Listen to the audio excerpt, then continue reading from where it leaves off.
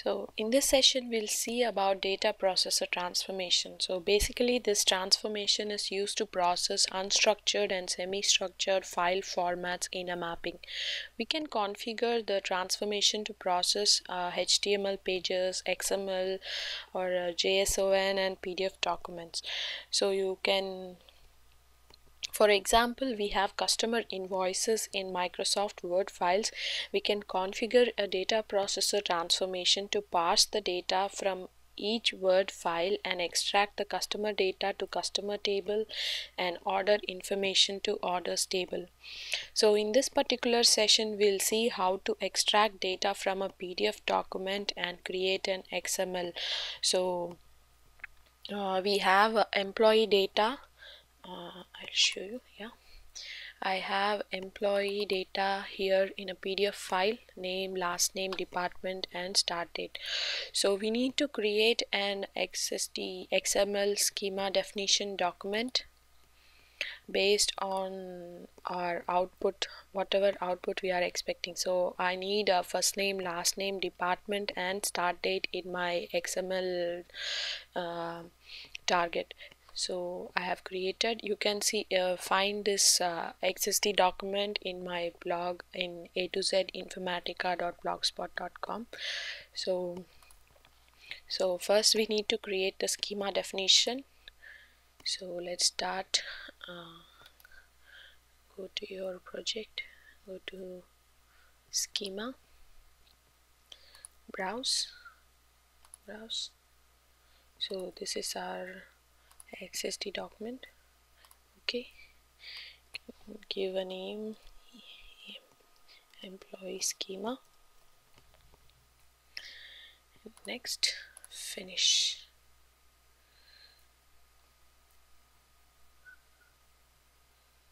So if you check the schema you can go.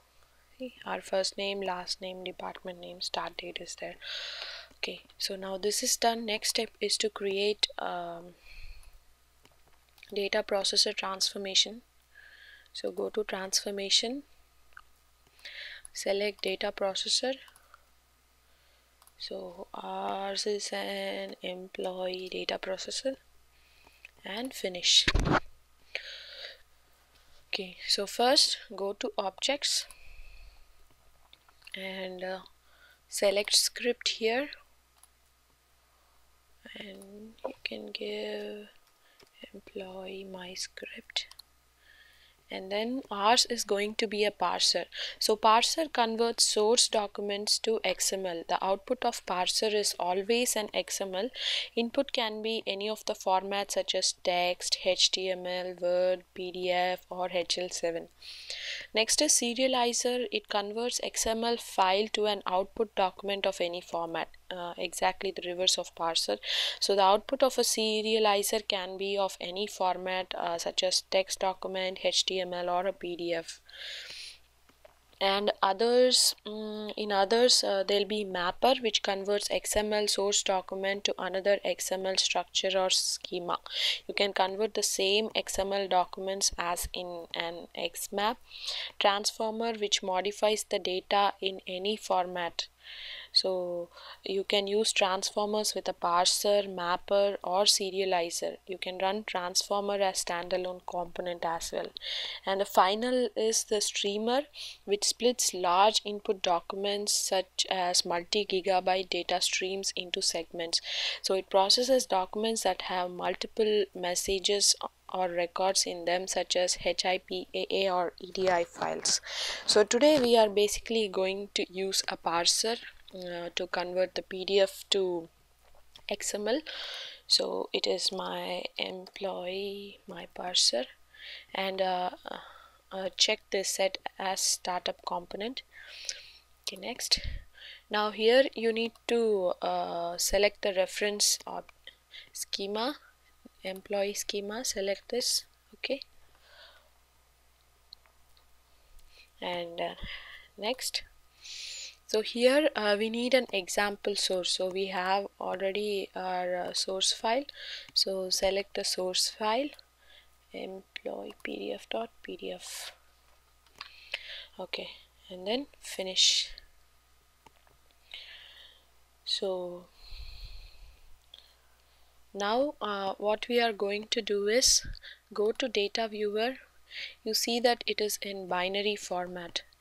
So in order to change that go to example source go to preprocessor and select PDF to text 4 so now you can see our data in our PDF file.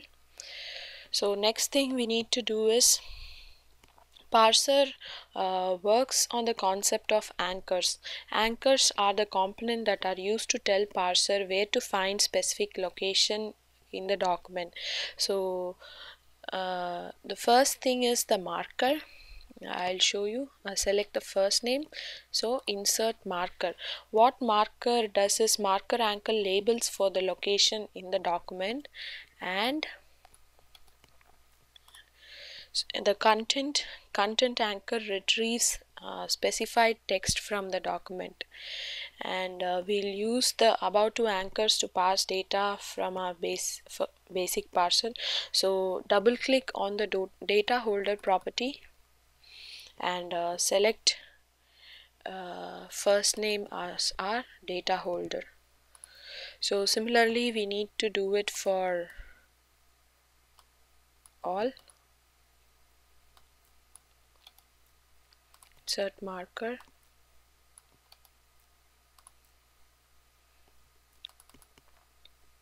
It is last name okay. Then is the department.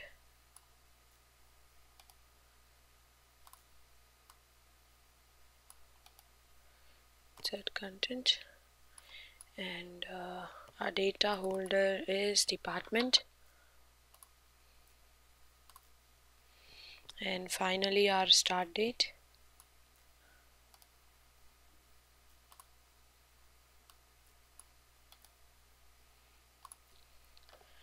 And the data holder is start date. Okay. So now this is done. So the next step is um, go to uh, we'll run this to check if we are getting the XML run data viewer. So now if you'll see this is our output. See first name our data in the PDF document has been used to create an XML file. So go to overview and select the input our input is going to be a file. And then save. Okay. So now I have uh, input and an output. So input is a file uh, which has the path name of my PDF document. And I have created a target in the target folder as you see. So this is my target.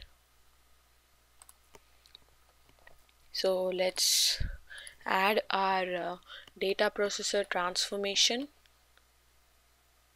here. So connect the input and the output ports. Okay and validate the mapping and run the mapping.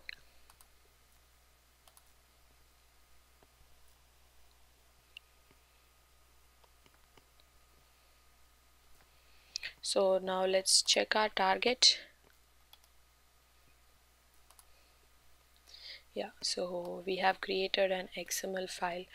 So for more uh, go to a to z informatica.blogspot.com